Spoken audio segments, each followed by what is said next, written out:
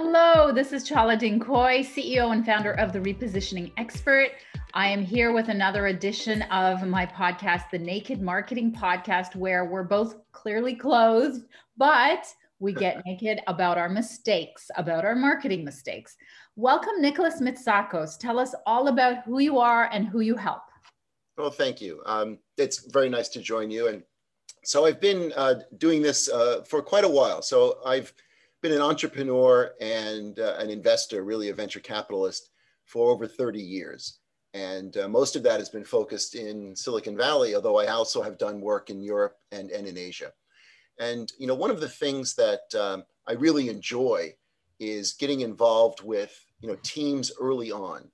And if I can kind of digress for just one second, I think one of the things when we talk about starting a venture or even staffing and building a venture that you know the team and the people you work with are the most important factor. I know there's a lot of a lot of discussion about well, find your why, find your purpose, right, and then figure out what to do and how to do it. Unless you have the right people, none of that matters.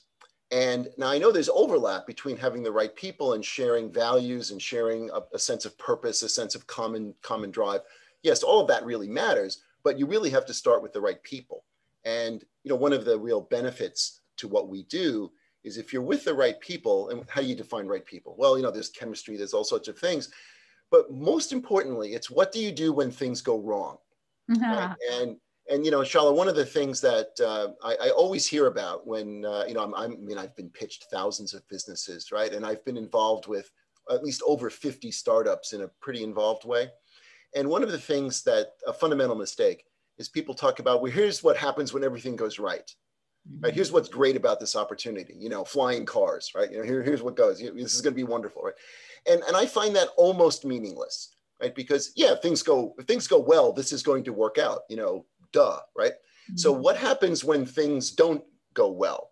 And you know, so tell me the challenges you see. Tell me the issues that you have. Tell me, you know, all these things. So for instance, when you're talking about an electronic vehicle company, it's like, okay, how are you going to source the materials for your batteries? How do you think about charging stations? How do you think about competition and deployment? Where's your price point? Who's, you know, all those things and, and the challenges, because obviously major motor companies are not standing idly. And so how do you position yourself? I don't hear a lot of that. Uh, I hear a lot of hoopla, but, but that's sort of a, you know, to emphasize maybe a current point about something that is, is a big issue, which is, um, what are the challenges we can think of? But of course, and, and this was uh, advice, uh, you may be familiar with John Doerr from Kleiner Perkins. So mm-hmm. 25 years ago, I'm getting started really as a venture capitalist. And, and John said, look, I've got a very simple way to think about things. When you start a company, there's 50 things that are going to go wrong. And if you're a genius, you probably thought of 20 to 25 before, and you're probably not a genius, right? So most things that go wrong are things you didn't think about. And so, uh, what do you do when the unexpected happens? And and I know we're going to get into some you know very specific uh, case scenarios and case studies, but but that general point uh, I think is very powerful because when it comes to marketing, when it comes to uh, these kinds of programs for businesses, it's something that is almost an afterthought in many of the businesses I get involved with, and it ultimately becomes you know one of the most important things that any company does. Mm-hmm. You know, one of the things that uh, just a little history, but you know, maybe 20 years ago, we all thought kind of as computer scientists and engineers, well, if the thing works, it'll just sell, right? Mm-hmm. You know, not really, right? and if you know and and and and so there was a lot of the you know, the, you know you've heard all these stories where you know the engineering team says okay we've got this software hardware whatever done so just go sell it as if that just happens right, right. and then you realize well you know that that that we'll call it that equation that delivers revenue, that may be the most important thing for us to think about.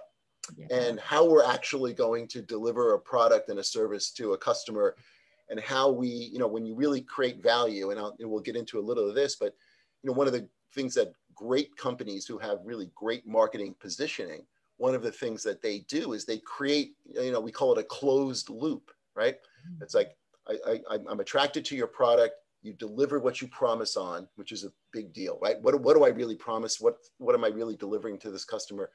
But then if I like that, then I find ways to connect with my customer so I can improve that. So then he stays with me and then she buys more and then they come together and, and I have this loop you know, you've seen it with Apple, you've seen it with um, Netflix, you've seen it with these other companies where they just find a way to, to constantly improve their product.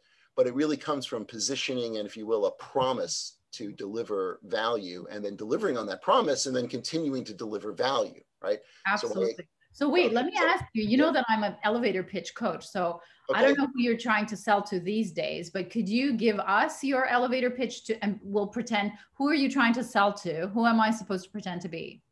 All right. So, well, uh, you know, so since I'm, uh, you know, kind of an investor and entrepreneur involved with several businesses, am I trying to sell myself as an investor or am I trying to sell my, you know, one of my companies and what they do? I just want to be. Pick the biggest priority one. Pick the one that you want to get most um, traction on. Okay. So, um, you know, a, a fundamental disruption is occurring in the financial industry where everything can now be digitized. We have seen that previously when all content and all, all products and services can be delivered in a digital platform. What happens now when all financial transactions can be delivered on a common digital platform? This mm-hmm. is maybe the single biggest opportunity in investments and finance for this generation. And I'm involved in a company that's involved in that very area. And what are you trying to sell? Well, a, we're selling we're selling a platform that allows for we'll call it digital decentralized finance, where all investors and borrowers and lenders and entrepreneurs can meet on a common platform and deal directly with each other without the need for intermediaries, without the need for you know delay and processing. And we provide a liquid, stable digital coin that can then be mm. transferable. So the Very idea cool. is venture capital is suddenly liquid and private equity is liquid and entrepreneurs can can access a global financial market now and not just Very the guys cool. who can drive 40 minutes to have a meeting. And who's your target? Who who would I be? Who would you be pitching to? So I would be pitching to um, a, a, combination of, of an, entrepreneurs, business people, investors, uh-huh. lenders, yep. you know, essentially looking for um, kind of, you know, anyone in any, you know, it, the one thing about finance, you know, the, the reason I'll just, let me just digress for a second. You know, when we had the banking bailouts in 2008, people were very upset. Well, why aren't you bailing out local businesses? Why aren't you doing those things? Because fi- banking and finance is, is just not the same kind of business. It's an intermediary to the economy. Right. So if you don't have an intermediary, you don't have an economy right? So that's why that has to be bailed out and why we do the things we do. So now when you have that intermediary can, can now be digitized and global, and immediate. And now you have, you know, um, a, a um, non, you know, I'll call it non-hackable, but authoritative source for, you know, valid contracts, valid interactions, valid exchanges of currency and, and value. Once you have that, you know, you now have a very disruptive platform. But the idea is, you know, to really, in my mind, you know, to partner with the JP Morgans and the Goldman Sachs of the world because they are a little bit behind this. They have a legacy that they don't want to disrupt, right? Mm-hmm. So the one thing about creative destruction is people focus on the creative side of things. They forget there's destruction, right? Mm-hmm. And if you've got a big legacy infrastructure, you don't want to destroy that, right? So how can you be an augmented business mm-hmm. that can, you know, enable, you know, very high margin, very very profitable transactions, but also very low cost, right? You you can really do this for, for a de minimis marginal investment, right? So that's the that's the exciting thing that we see that that I think can be disruptive. And when you look at uh, let's just say lending, the global market for bonds is almost 200 trillion dollars with a T, right? And so now we see digital, I'll call it decentralized finance companies. They're capitalized with about you know mo- no more than 10 to 15 billion dollars in total. Right? So I, I know where the curve is going. Mm-hmm. And you know, when suddenly we can have, and I'll just say this, like the government of Singapore wants to issue, uh, you know, a one billion dollar bond issue. They can do that digitally, and you and I can now buy those bonds where we couldn't before. I mean, that's you know one a very conservative example.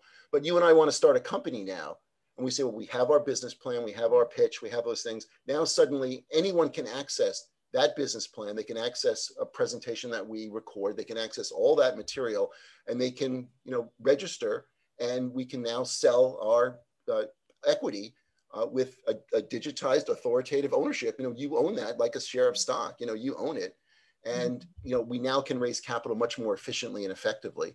And I think that disintermediaries a lot of things, or disintermediates, I guess is the English, right? Uh, a lot of things, and and and that's why you know that fundamental disruption to what I would say is probably the largest industry in the world, um, where you have financial services that aren't available to billions of people. Yeah. You suddenly have you know something you know very exciting. Uh, yeah, so that's that, that's why yeah. So there we go. That's hardly that would be a very long elevator ride, and I apologize yeah. for that. that that would be like we're stuck in the elevator for sure. Yeah, yeah. Um, so tell me, like, I'm dying to know how do you market yourself, the things that you're selling, and what really was your biggest marketing mistake? Yeah, you know, it's interesting. I think that um, we'll start with the, you know the big mistakes. Yeah. Um, and so one of the, the the biggest mistake I think that maybe everybody makes, I certainly make it, is when you spend so much time understanding something, you suddenly believe that everyone else has that same context mm-hmm. and everyone else understands that, right? But they don't. And you know the fascinating thing, and I know we've all had that experience where you've presented something and you swear this is very clear, you know, couldn't be more direct. Here are the three things I want you to remember about you know this company, this opportunity. This is what really matters and then you have a discussion with well-educated, informed people afterwards, and they have you know they got it completely wrong, right? Yeah. Which means you got it completely wrong. And and so I think the first I think the first rule is it is the responsibility of the presenter, uh, you know, you know whoever it is, the lecturer, the teacher, you know, the explainer, the presenter. It is your responsibility to communicate clearly. And I can't emphasize that enough because people talk about getting the you know the message just right. Right? Mm-hmm. Well, unless unless you remember my message, it doesn't matter, right? And so the biggest mistake is I spend way too much time honing a message and not enough time understanding how to communicate it clearly. And you know, just like I think we just went through a, a, a rambling discussion from me on decentralized finance, which is something I've, you know, I mean, I even have a degree in this stuff, right? I've spent a lot of time in this area and I cannot wait to tell you everything I know, right? Yeah. But you don't want to hear that, right? You know, it's like, like, like what at the end of like, what is your point? What's, you know, why should I care, right? And so I think one of the, the, the mnemonics that helped me a lot is when I'm when I'm when I'm finished with anything I think I want to say, I always then say to myself, okay, so what? Right?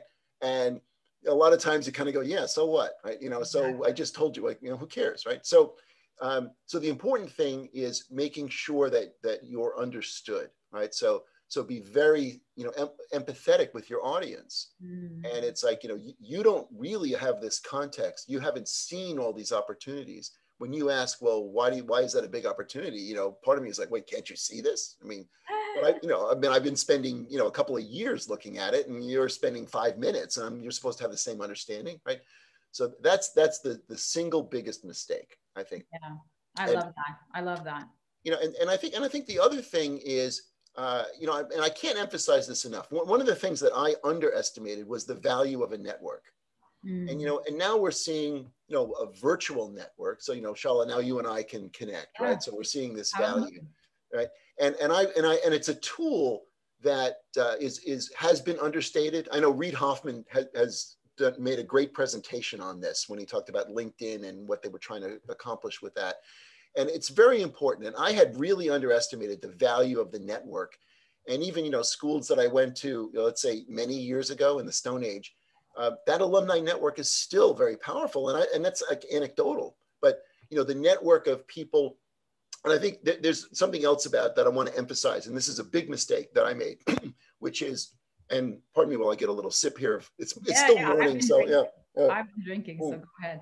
But you know, one of the things that Steve Jobs talked about is kind of the ability to connect some dots, right? To see some things that may or you may not think they're related, but suddenly you kind of have this way to connect them. You know, in that one of his speeches, he gave that great talk about taking calligraphy and well, that has nothing to do with anything. Well, when you think about fonts and computers, well, it actually does, right? And so the, the thing about a network is uh, a mistake that I've also made is going very deep and, and, and, and very narrow in, in connecting with people. It's like, well, this is an area that, that I understand and I know these people and, and kind of that's that, right?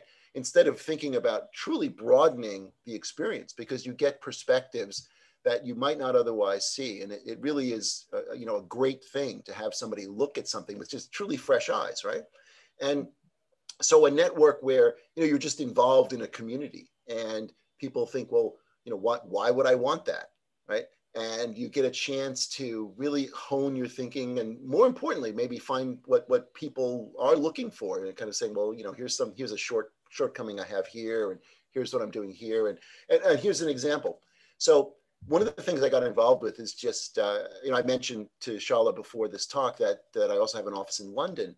And in just one of the kind of chats with some people, they were talking about the, the mobile phone market in Africa and how there's a mobile banking service called M-Pesa, right? Mm-hmm. And it's revolutionizing um, Kenya because now people can connect. You know, they, they, when he was telling this story where he said, well, you know, these fishermen are out on their boats and they don't know which beach to go to to sell their fish because if they all go to the same beach, there's too many fish. If they don't go to the other beach, there's no fish, right? So they they communicate now with text messages in their little boats, right? And he's saying this has fundamentally changed this industry, and. Wow. But, but now that's an aha moment. And it goes back to what I was talking about this kind of digital finance, which like, oh, suddenly, wait a minute. And, you know, and then now, now I, I can ex- now exchange currency and accounts and information all with a tool, and I don't need a bank, I don't need an intermediary, I can do this directly. And suddenly it's aha, right? Mm-hmm. So, you know, these kinds of experiences can be can be very fruitful. So that, that's another thing I, I, I, recommend is kind of the, the value of a network. And, and it also helps you talk to audiences about your ideas because they really have no idea what you're talking about many times, right? And then you get a very, you know, thoughtful, intelligent man or woman who looks at you and go, "What are you talking about?" so it really does help.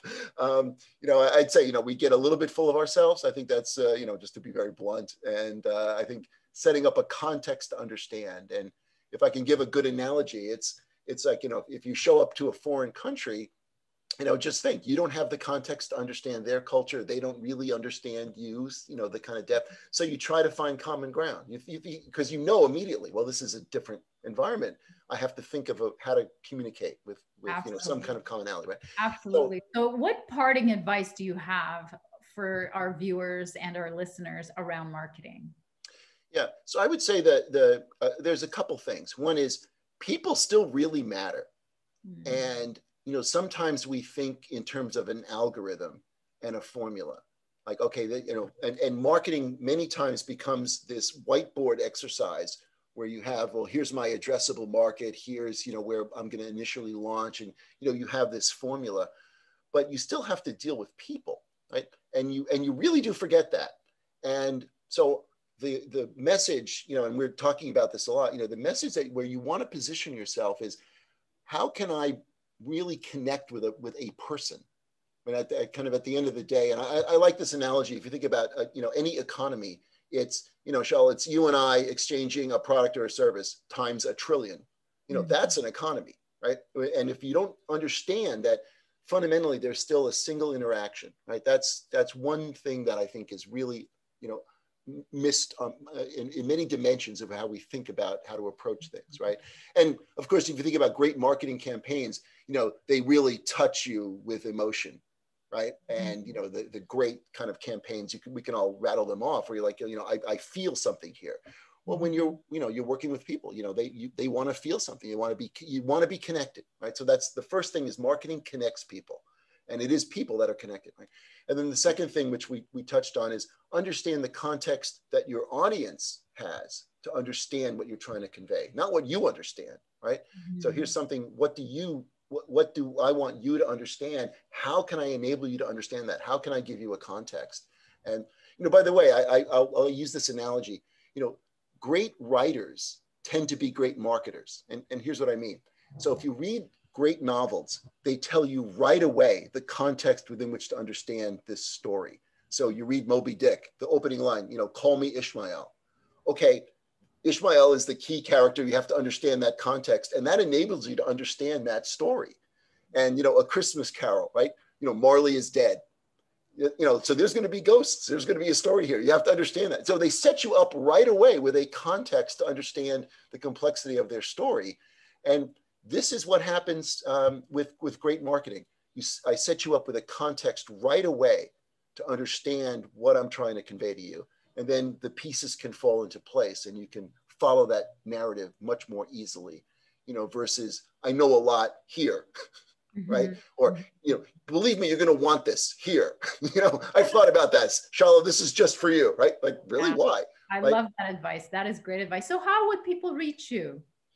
Um, okay, uh, so I have, um, I do have a website uh, for, you know, my my investment company, which is Arcadia Capital Group, and there's um, so Arcadia Capital Group is the website, and mm-hmm. there's my contact information there, and uh, you know, kind of a little description about my firm and and some research and articles and things that I write. And, uh, you know, I kind of focus some of the things I've just talked about today. I've written some articles and done some research on that. So that's wonderful. That's Thank you so much for being a guest. Well, Charlotte, this was a real pleasure. Thank you very much. Very nice to meet you. Thank you.